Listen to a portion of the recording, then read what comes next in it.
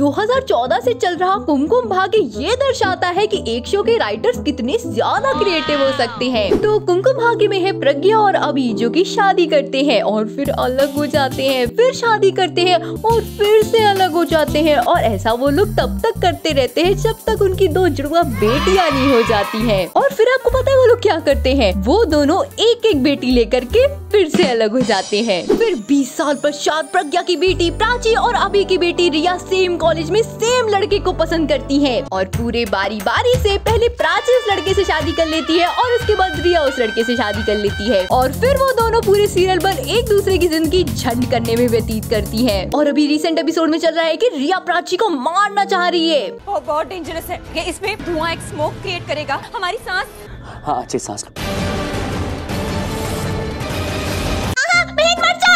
बहाने चलो सीरियल तो खत्म होगा।